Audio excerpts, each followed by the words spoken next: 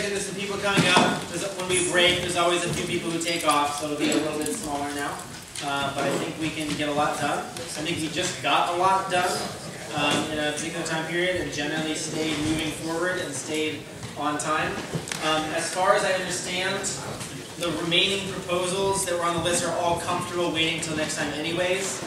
Um, Alan just gave me one, and then I was supposed to do a, um, I need a temp check, a sixth proposal from Harry, um, regarding permits.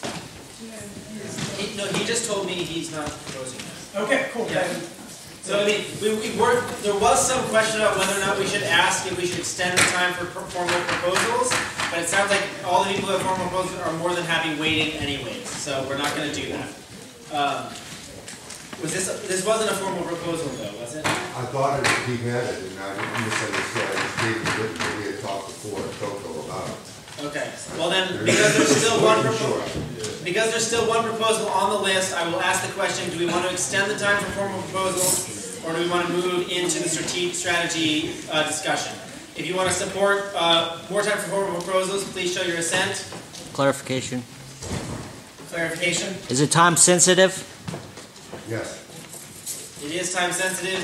And anybody, do we want to move along to form, to the strategic discussion? Please show your, your agreement for that. Agreement for moving? For moving on to strategic discussion as planned. One, two, three, four, five, six, seven, eight, nine, ten, eleven, twelve. Uh, once again, I got, let me get a count. Who is supportive of extending time for strategic, for, for formal proposals for a few more minutes? I'm gonna limit it at five minutes tops. one, two, One, two, three, four, five, six, seven, eight, nine, ten, eleven, there- there's more than twelve, so you've got two minutes. okay, so that sometime post Monroe Park and the arrest there, a temp check, what you see on the walls here, prayer flag fundraiser to raise monies for legal defense, there was a full room of hands and nobody in opposition. And I talked to finance along the way, and it's now launched. Um, and I feel like it's time, I, I need to come back to get GA's inform, GA informed and get consensus on the process that I've engaged uh, in taking forward from that temp check, temp check originally. So, the purpose is to raise money to cover fines and court costs for all the arrests related to Occupy protests. Funds dispersed based on calendar arrival of fines and court costs imposed. You know, whoever comes out of the process first, those are paid, and we keep raising monies until everybody comes out of the process and fines and court costs are paid. Consideration regarding extra dollars left over after all fines and court costs are paid will be made in a different time, different fashion. Um, Sales of the prayer flags will occur online and in person. Teams who wish to do sales will receive merch and inventory accounting processes that they would have to follow, returning inventory and funds collected. Receipts from online sales will accumulate in a dedicated PayPal account, here's the uncomfortable part for me, in my name. Cash and checks from local sales deposit will be directly deposited into a credit union account, a dedicated, separate, nothing else happening in except this project, credit union account. Jonathan from Financial, and I talk with financial members, um, would be overseeing the activity, reviewing for transparency and oversight, uh, bank accounts, or uh, statements, and the online activities, and the inventory and receipts process. Um, I basically spent my own money, put my own time, a number of other people volunteered and created all this beauty that you see on the walls. I've got close to eighty sets, and there's a large number of us, thirteen total, going through the legal process, and fines and court costs are gonna be coming out of that process soon. Why I feel I need to come back for approval of this is I'm not completely comfortable doing it on behalf of, totally on my own. I really want the assembly to approve the process, including Jonathan from financial and/or a designated replacement. I want somebody to, to look into, to be a full partner in reviewing the money flow as it happens. I don't want any questions or any lack of transparency on it. Okay, so, any clarifying questions? Chris, Um, so this would benefy everybody that's been arrested so far?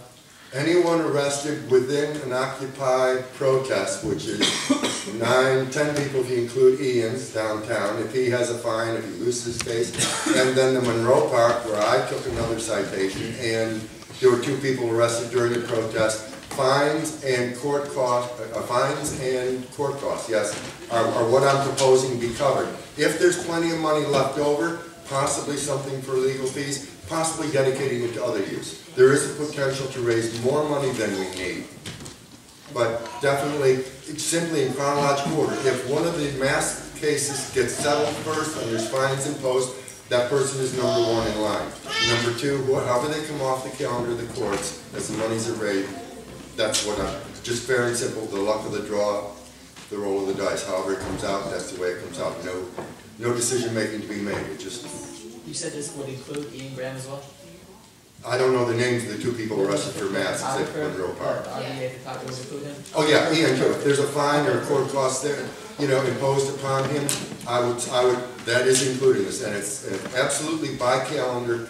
Whoever comes out and it's imposed, that's the manner that we disperse funds. Okay? alright, uh, so, alright, Dave, David? Um, yeah, I'd just like some clarity, because I'm not sure what you're proposing. It sounds like you're proposing a number of different things, so can you bullet point those? So the proposal is that this is an official activity, number one. What is The, it? the current flag sales, raising monies for fines and court costs for all arrested during, that- so that it becomes promoted officially to our ORVA. Secondly, that the process of transparency be set in place, overseeing all the financial activity through an online PayPal, which is in my name, through a credit union account, which is in my name, and then the disbursements thereof from those accounts would be directly overseen and monitored by financial, so that it is in accord with what's being proposed here.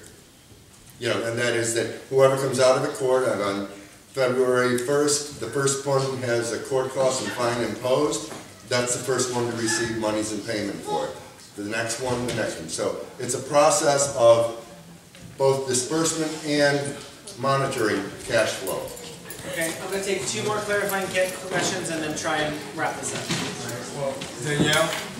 Okay, um, I think, and this is but also I know there's been several other legal fundraisers that legal has had no part in whatsoever and hasn't been notified of how much money was raised. I mean, no one has told us anything, and we have actually asked for information, and a lot of times the people we ask don't have the information, so we need to know how this is distributed, you know, who's getting paid, who isn't getting paid, so that we are able to have that information also. While financial definitely needs to be on this, so does. Okay, so can I respond directly to that, because that's important. There has been no Occupy Richmond fundraising to date. Yes, No, no, no, no, that was one of the radical anarchists, the, the- the cellar door, the cellar door? Okay, that- okay, okay, All right, so that's why I want bring this. legal in. Next, next question. Alright, just to bring to the moderator's clarification, there are, um, five more people who wanted questions asked, but Christina on this side is next.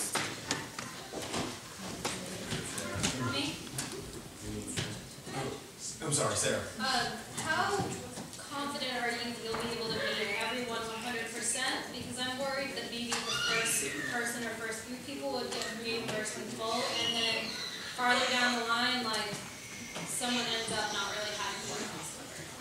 There's a two-part answer to that. One is, if it's me doing it, I'm fairly confident that I'll never manage to raise enough money. But if people want to get involved, if, if it's a function of how much heart and connection is in this room and is at home watching for the minutes tomorrow and is concerned and caring, and I think we'll continue to raise money until everybody's court costs are paid off. That's my personal commitment to keep on going until there's no fines or no anything left. And I think we can do it, but it's we, and, and there'll be, there'll be information that'll allow everybody a chance to continue until we meet that goal. Point of process? We can send Ston five minutes. I agree, yeah, that was what I was gonna do. So basically, we're gonna take a temp check on this right now. Who's in support of this proposal? Who's not in support of this proposal? Um, Could I ask a is this a mayday? I have a really important point of clarification, I feel. Is there going to be a process that, because as of now, I personally feel like all of the, all of the people who have been arrested are worthy of this. But what happens when people decide to be violent, um, or, or break a law, like, they're, they'll be expect, expecting reimbursement when, will there be a way to vote to say, this person, well, this person was violent towards a police officer, Okay. that's not gonna be covered? As facilitation, I'm feeling very much like this is not clear enough to, to actually go through as a formal proposal, and I see a lot of support for that. I'm gonna, I'm gonna propose that this be tabled, and then come back at our next GA on Thursday, which is only four days away, and is still pretty time sensitive. Is there support for tabling this proposal? Is anyone who wants to not table this proposal and finish it now? Okay, Could I ask for the people who have, that didn't get their questions answered or didn't bother to indicate their questions, please be in touch with me because I already have issues that, you know, I mean, I, I'm not really comfortable. I temp checked this and I'm, I'm moving forward with it and I really want it to be supported and transparent and clear and I need finality on it and, and please help. and then, we can give good time to this on Thursday, but let's finish up our agenda Thank for you. tonight. Thank you. Okay, all right, thank you everybody for your patience getting to this part of the process. I'm pretty excited about this. Um, you know, point of clarification. Point of information whenever. Um, so what we're gonna do now is work on developing a 2012 uh, uh, strategy for Orva, Occupy RVA.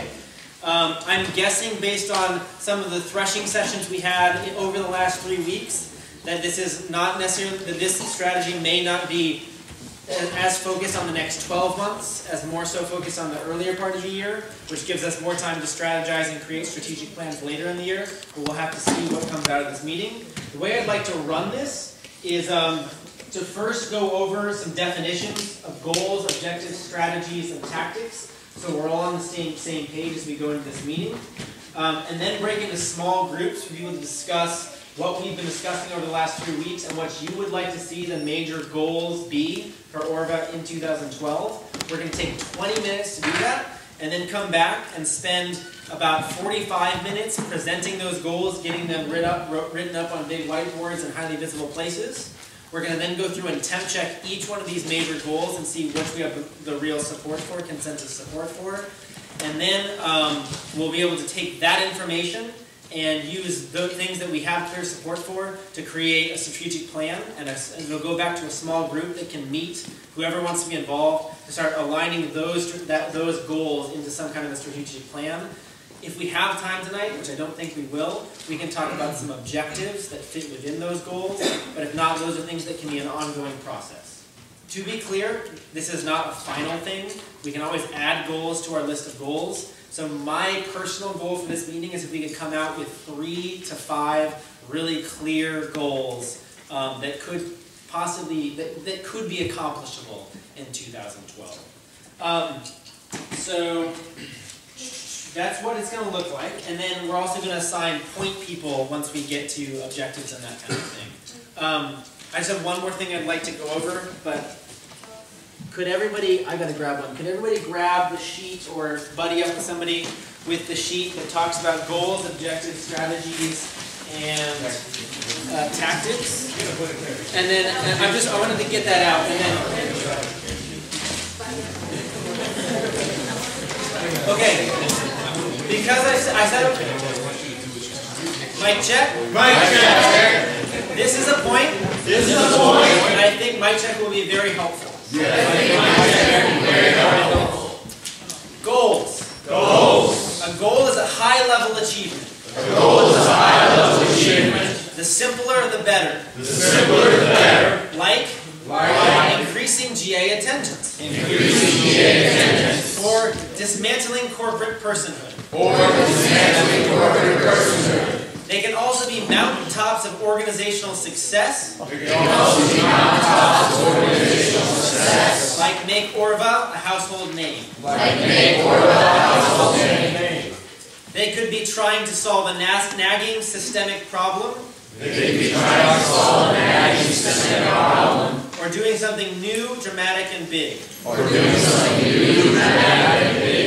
Goals sit at the top of a strategic plan.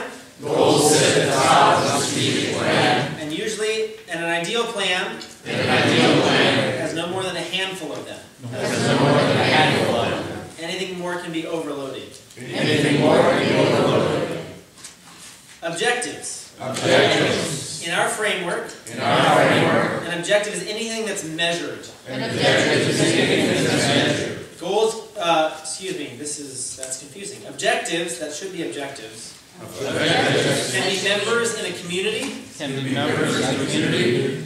Petitions gathered. Petitions gathered. Bills won or defeated. Bills won Or defeated. Or any other clear definable win. Or any other clear definable win. Objectives determine how you fulfill a goal. Objectives determine how you fulfill a goal. Multiple objectives can and should support a single goal.